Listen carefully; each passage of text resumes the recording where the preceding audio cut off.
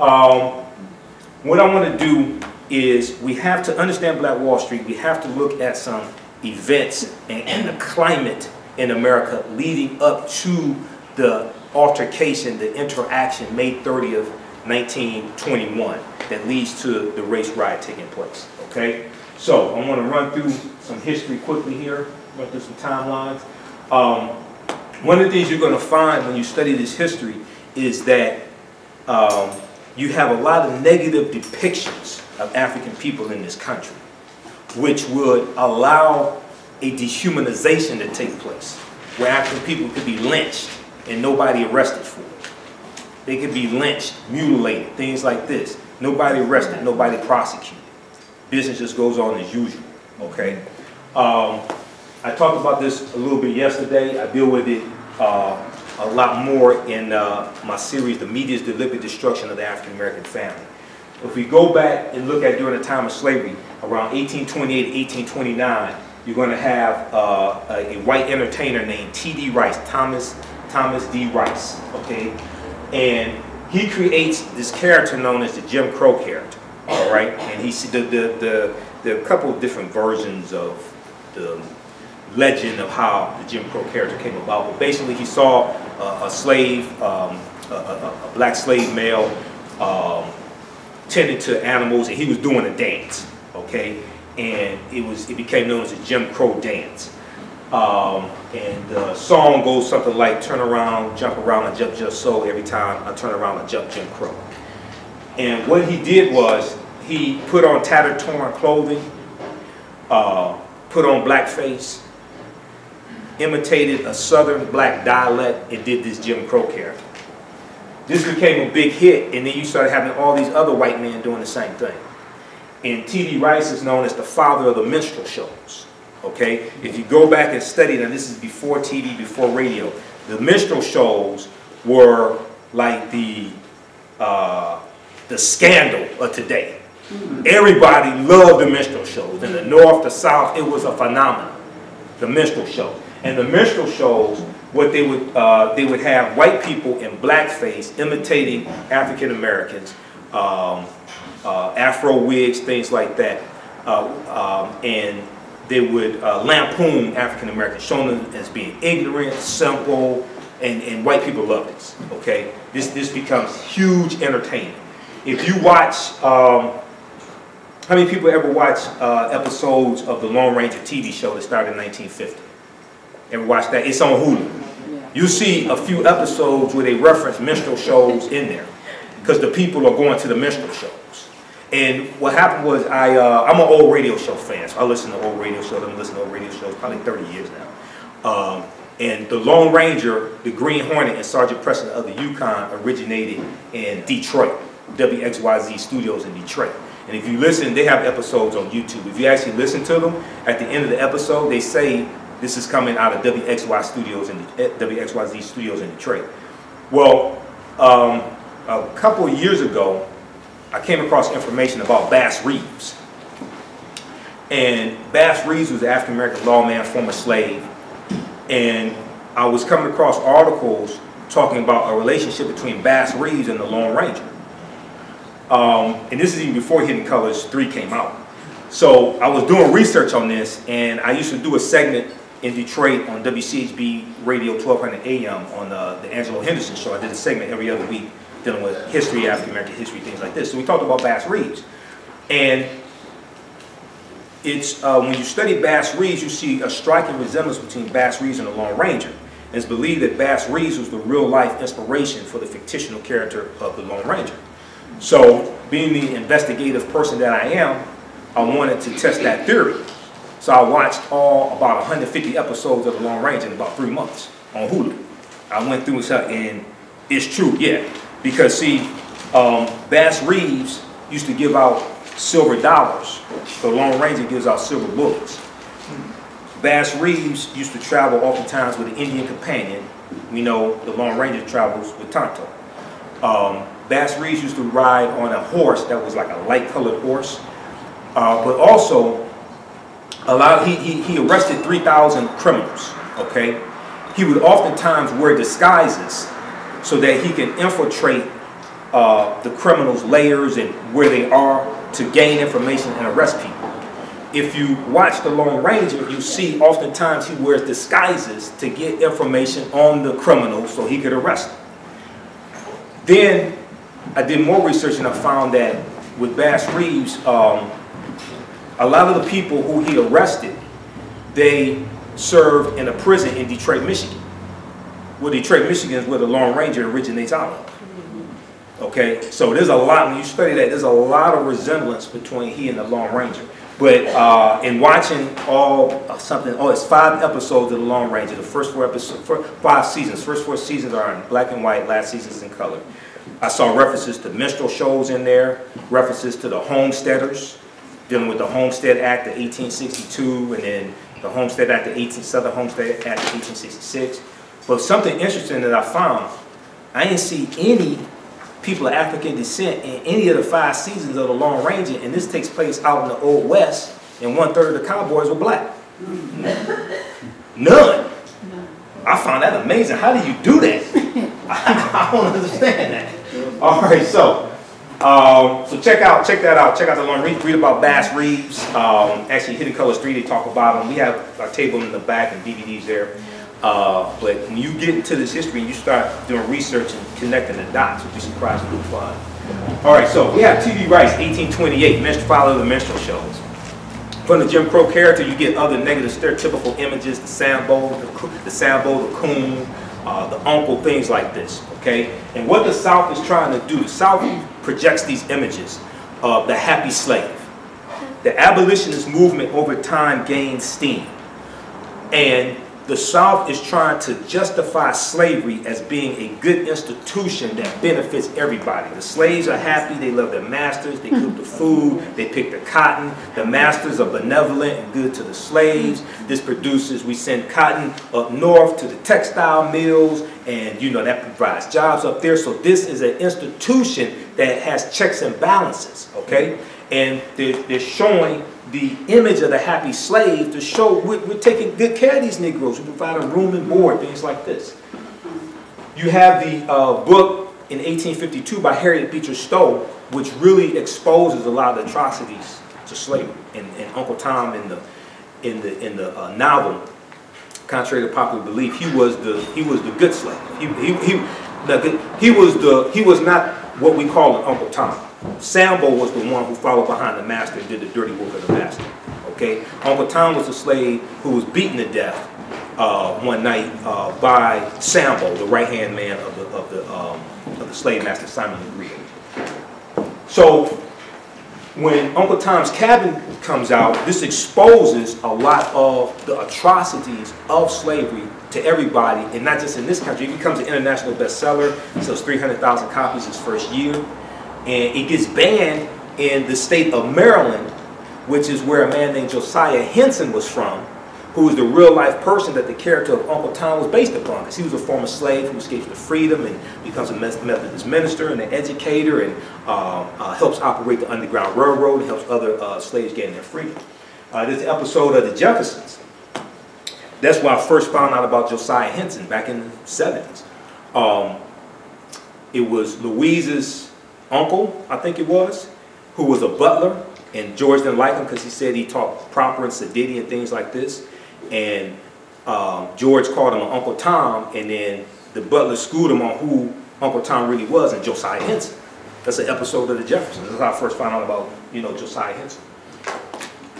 All right, so 1828, we have T.D. Rice. 1830, we have the Indian Removal Act, which brings about the Trail of Tears. Indian Removal Act removes um, Native Americans off their land in southeastern uh, United States, like Florida, places like that.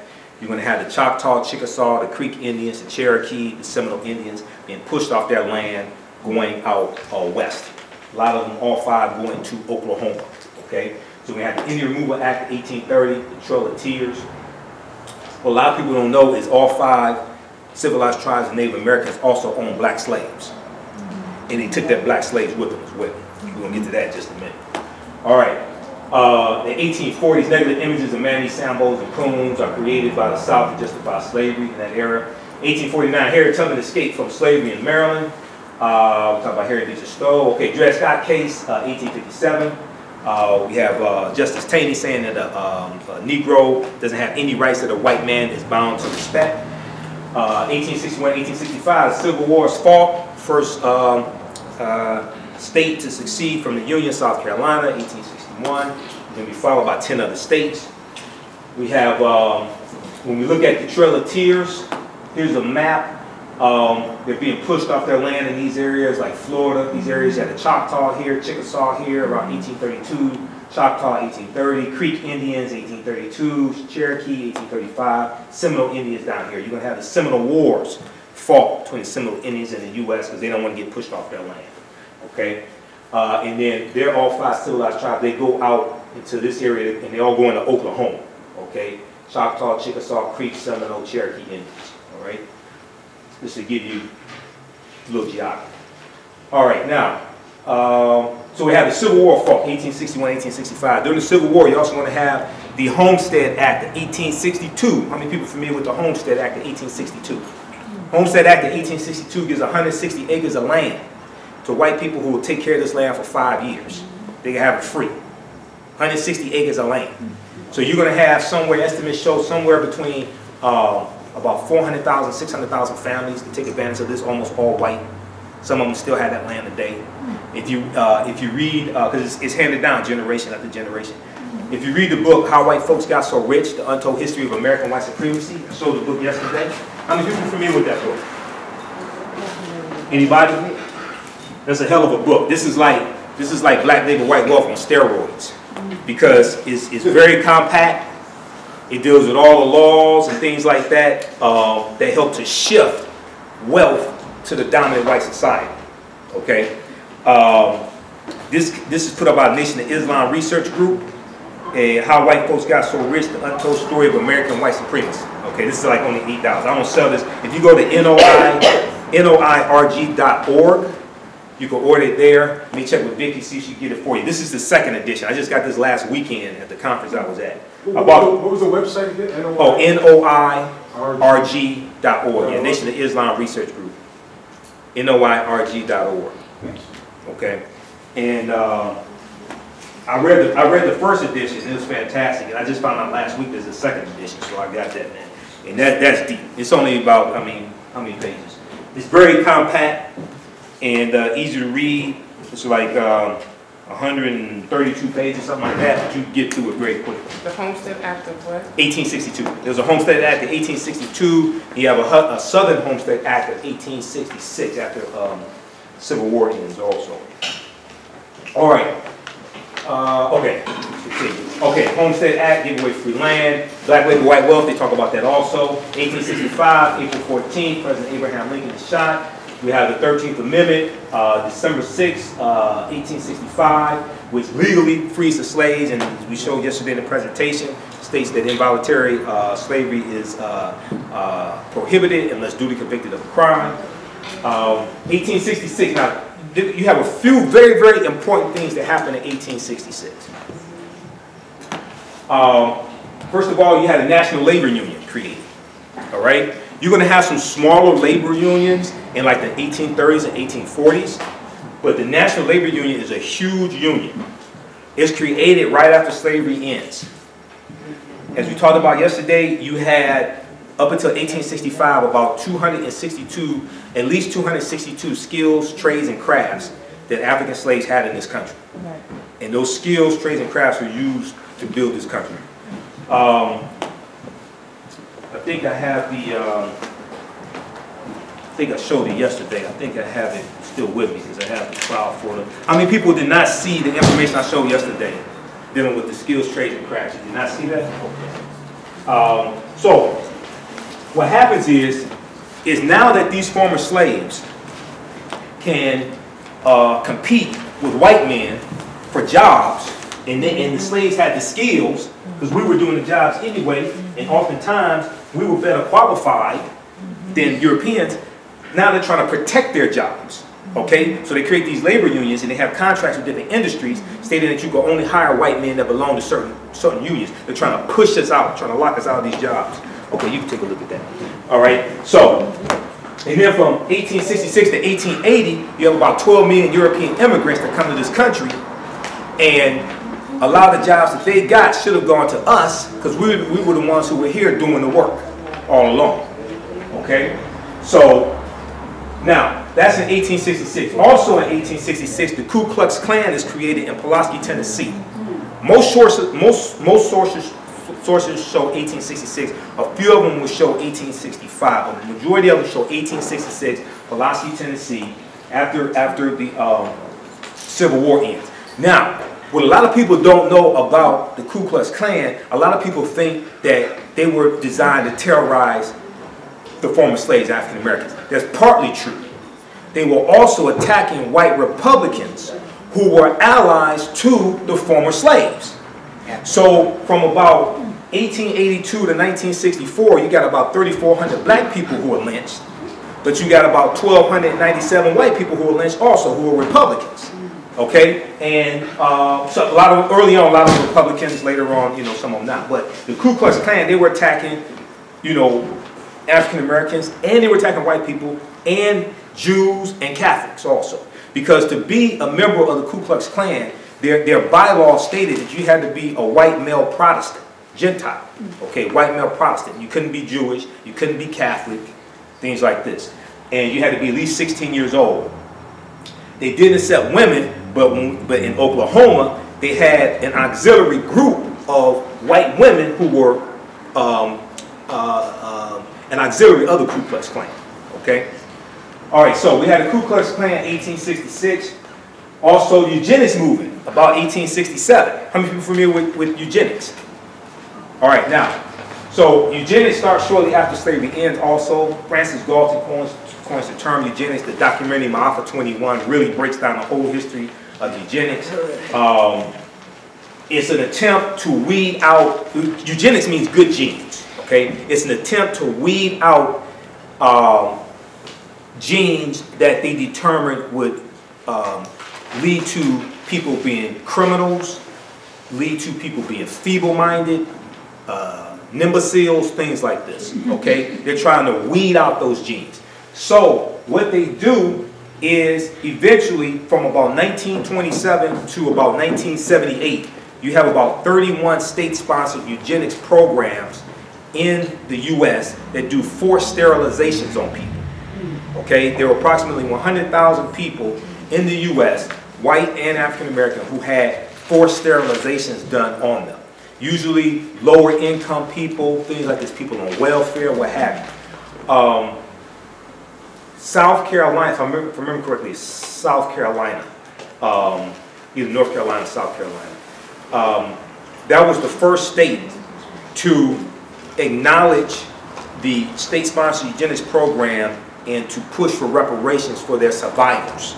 In Ma'afa 21, the documentary, they talk about that in an interview with a sister named Elaine Riddick, who was uh, at the forefront of the push to get uh, reparations awarded to the survivors. There about 1,800, approximately 1,800 survivors of South Carolina's uh, state-sponsored eugenics program.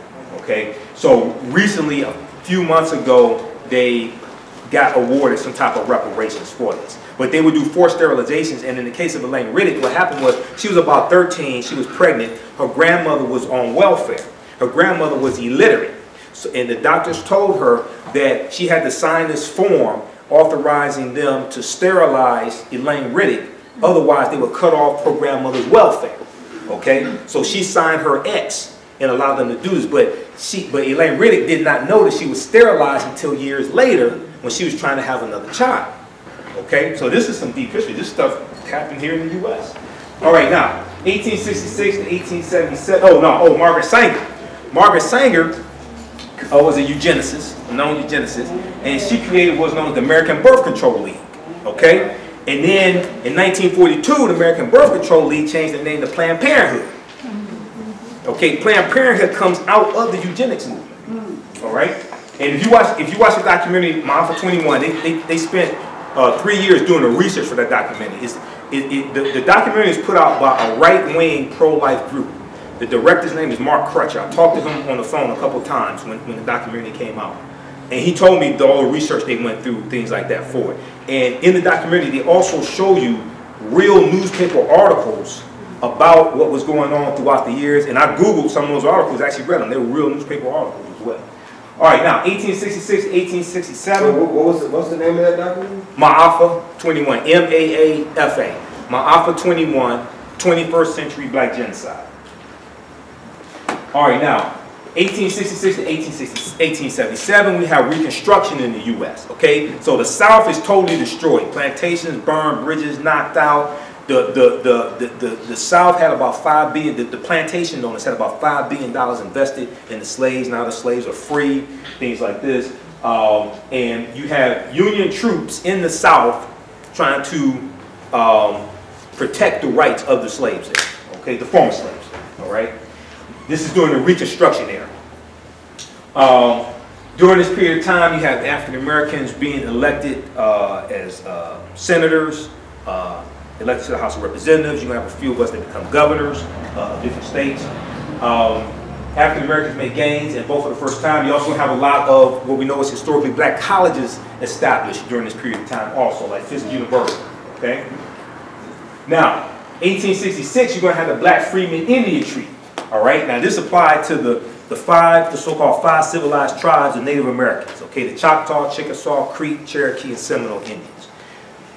All right, now, Dr. Claud Anderson on his website, harvestinstitute.org, he has a really good article dealing with the Black Freedmen Indian Treaty and the, and the lawsuit that he uh, has had against the federal government since 2006, trying to get this enforced, all right?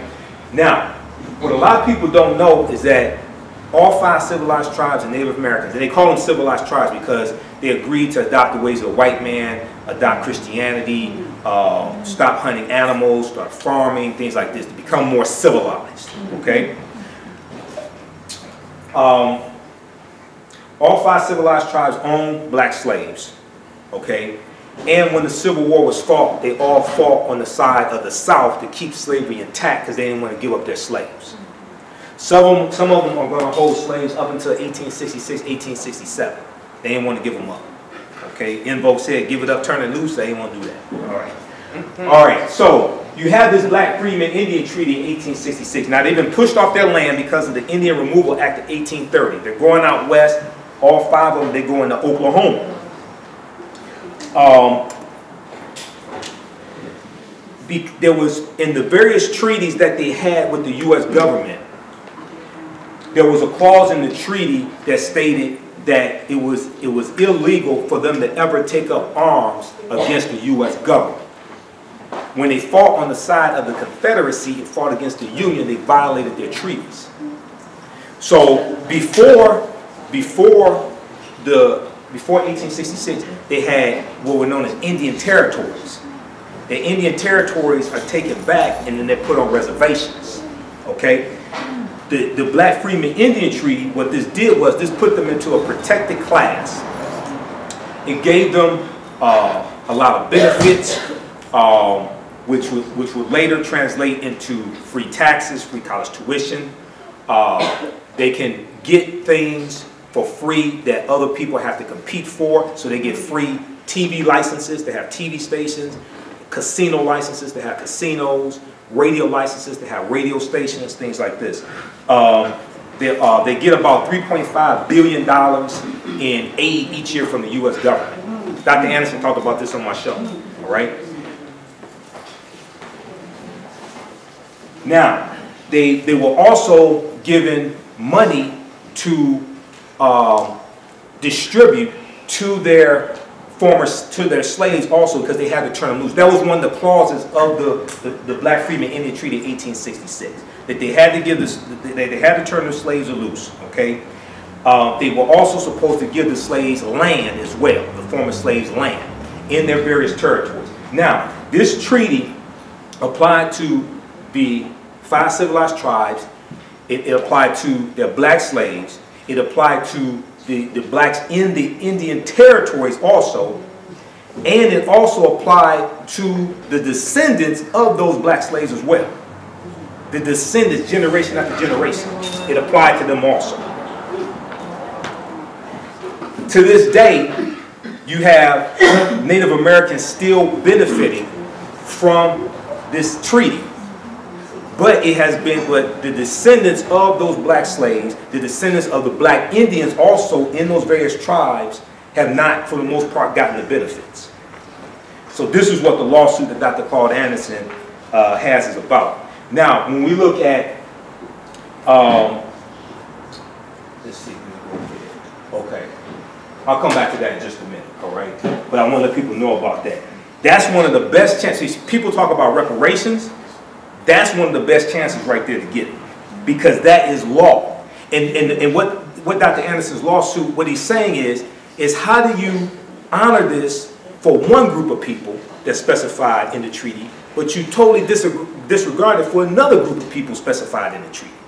And he said he's talked to all the people in the Congressional Black Caucus. He can only get one person to spend any time listen to it. That's Maxine Waters. Nobody else wanted to hear about it. They don't understand the history. They think you're begging for something, something like this. Okay? Um, let me share a little bit. Of, everybody all right? Yeah. All right, let me share a little bit of this with you. And, and, and, and this article is called Harvest Institute Freedmen's Federation Lawsuit and the 1866 Indian Treaties. Okay, this is on his website, harvestinstitute.org, so you can you can read it there. Um, remember, what you do for yourself is based upon what you think about yourself. Dr. Carter G. Woodson, The Miseducation of the Negro, mm-hmm. 1933. He said, in the schools of business administration, Negroes are trained excessively in the psychology and economics of Wall Street and are therefore made to despise the opportunities to run ice wagons, push banana carts, and sell peanuts among their own people. Mm-hmm. Foreigners who have not studied economics but have studied Negroes take up this business and grow rich. He said this in 1933. Okay? So this brother was dropping this dead. That's a deep book, The Miseducation of the Negro.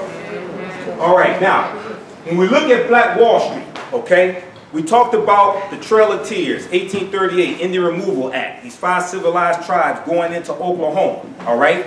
You have an area that's called Tallahassee, and around 1834, the Creek Indians, they call it Tallahassee, they settle this area and they take their black slaves with them, all right? Tallahassee later becomes around, um, uh, later in the uh, 1800s, it becomes known as Tulsey Town, and then it gets incorporated into a, a municipality January 18, 1898, and it's called Tulsa, T-U-L-A, T-U-L-S-A. But that comes from Tallahassee, which is, uh, uh, I believe, a Creek Indian word, because it was settled by the Creek. But they're taking their black slaves in there with them, all right? Now, what happens is, when they take their black slaves in there, when, because of that Black Freedmen Indian Treaty, their black slaves get land. They get between 40 to 100 acres of land, all right? and they pull their land together and they start forming communities. All right, these are some of the early black people living in what later we know as Tulsa, Oklahoma.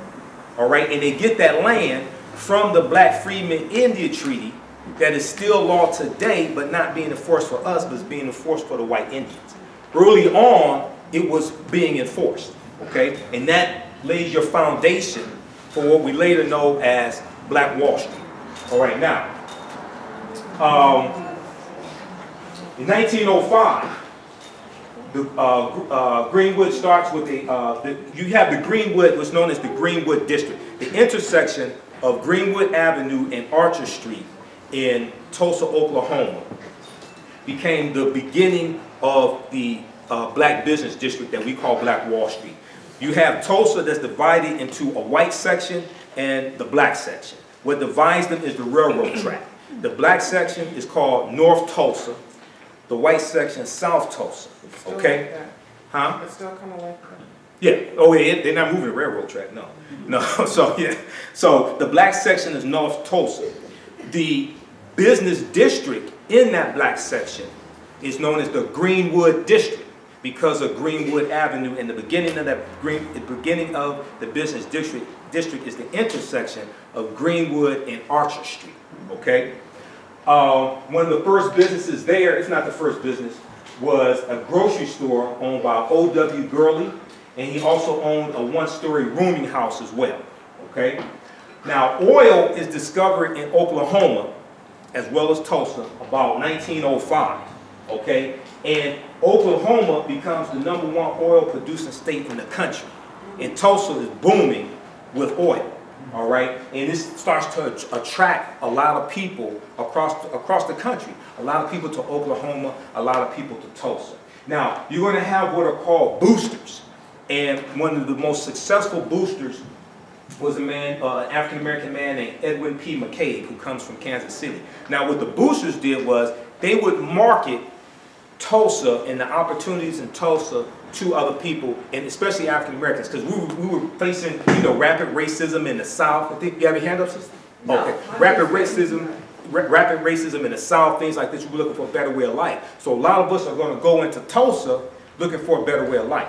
Also, in, also in Oklahoma, you're going to find that you had uh, some other all-black communities, also all-black towns, things like this. Okay, so um, if you read um, the book by Hannibal Johnson, Black Wall Street from Riot to Renaissance in the historic Greenwood District, they break break, break this stuff down. Okay, um, now here is some of the, the- you have about 600 businesses. You're going to have about 600 businesses in Black Wall Street, around 600. You have a 35 uh, block district known as the Greenwood District, or what later becomes known as the Negro Wall Street. It's believed it was given that name by Booker T. Washington and later known as Black Wall Street. Okay? You have about uh, 21 churches, 21 restaurants, 30 grocery stores, two movie theaters, six private airplanes, uh, one hospital, one bank. They had their own school system. You read about Booker T. Washington uh, School, uh, which is a high school there.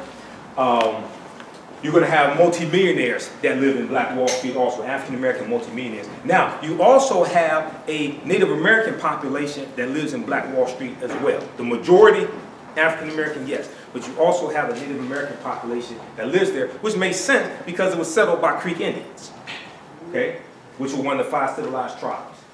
All right, now, um, some, some other things that a lot of people don't know uh, about Black Wall Street is that even though you had a lot of successful businesses uh, and a lot of wealthy people there, everybody that lived, all the African Americans that lived in Black Wall Street were not, they ain't have it going on. Some of them work for white people, okay? When you, when you actually read and study this information, you're going to find that the majority of the businesses we, we have only employed a handful of people. You're going to have some get employ more people, but the majority of them have uh, employed a handful of people.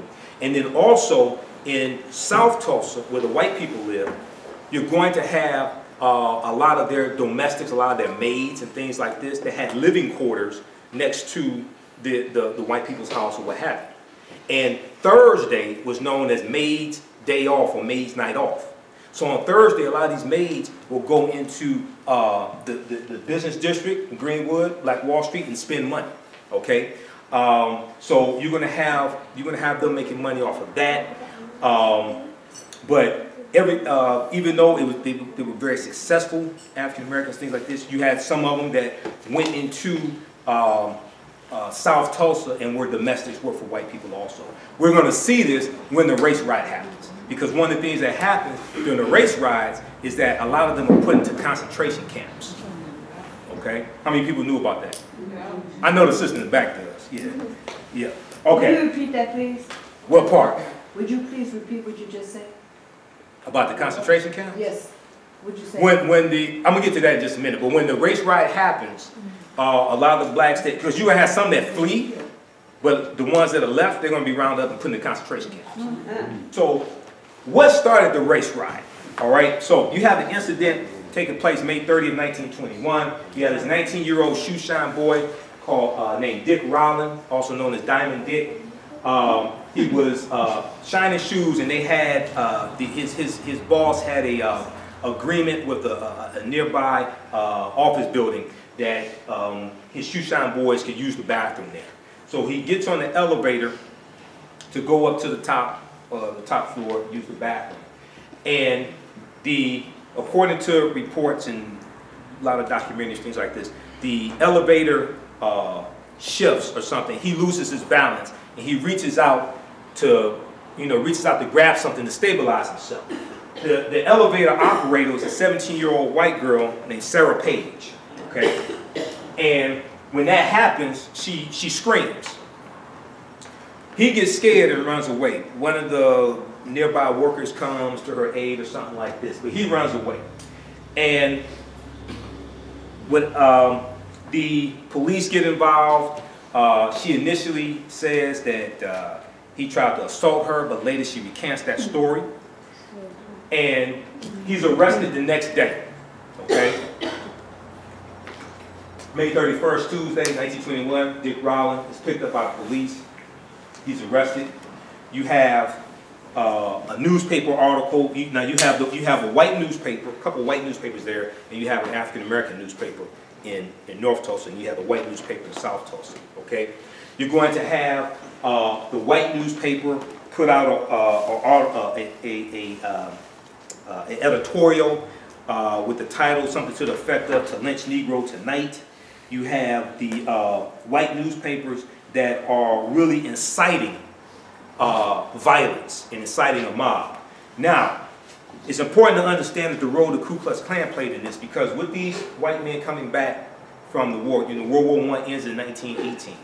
Um, they come back, it's hard for them to find jobs, and the Ku Klux Klan recruits a lot of them because the Klan is explaining to them that it's those black people in uh, North Tulsa, and they call it, it's the Europeans that call it Little Africa. They call it that as a demeaning word, or they call it Nigger Town also. That's another word they have for it, okay? Uh, it's actually North, it, it was actually called North Tulsa. He said it's because of them, this is why you don't have a job. So this built up a lot of hatred also, and this allowed the Klan to recruit a lot of people, and in Tulsa, the uh, Klan membership was somewhere between 2,500 and 3,000 men okay, in Tulsa.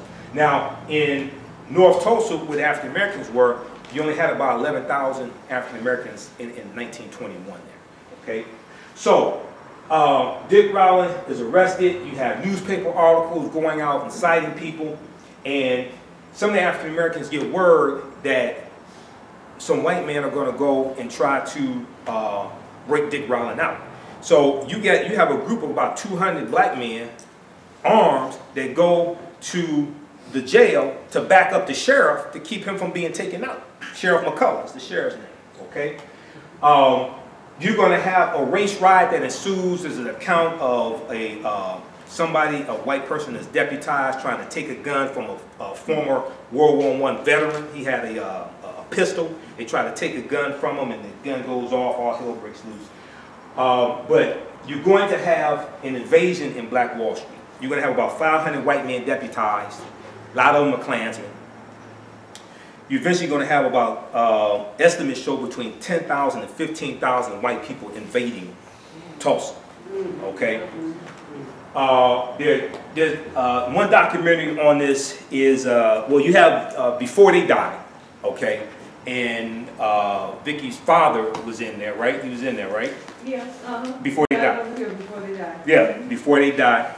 And then there's another one called, uh, I got it here, I'll find it. There are a few documentaries out. The Before They Die is really good. There's another one, there's another one called The Tulsa Lynching of 1921, A Hidden Story. Okay, that's a really good one also, all right? But, um, what happens is, a part of the story that's not told is that African Americans fought back also. Okay, because you had retired World War I veterans that lived in North Tulsa also in, the Greenwood district as well. And they had guns and ammunition, they knew how to fight, they helped build this up this community, and they fought back also, okay? Um, it's, uh, eventually what's gonna happen, you're gonna have about 1,200 homes destroyed, uh, about 300 homes looted, over 4,000 people uh, were homeless. Uh, I've seen estimates as many as 10,000 homeless. Um, you, you, the Red Cross estimates that about 300 people were killed, but we know it's, it's most likely more than that. The reason why is because number one, some people were shot and wounded and they ran into neighboring cities and died there. And then also there reports of black bodies being dumped into the river also. Okay, so it's hard to get an estimate, but we know at least 300, at least 300 were killed. Um, because homes were destroyed, you're going to end up with about a thousand African Americans living in tents uh, during the winter.